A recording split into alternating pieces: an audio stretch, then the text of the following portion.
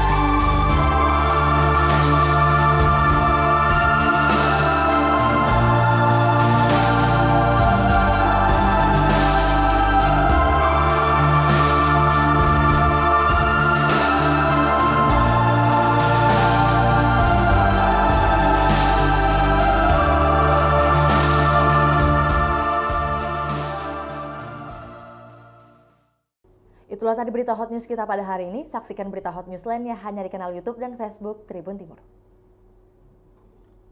Download Tribun X sekarang. Menghadirkan lokal menjadi Indonesia.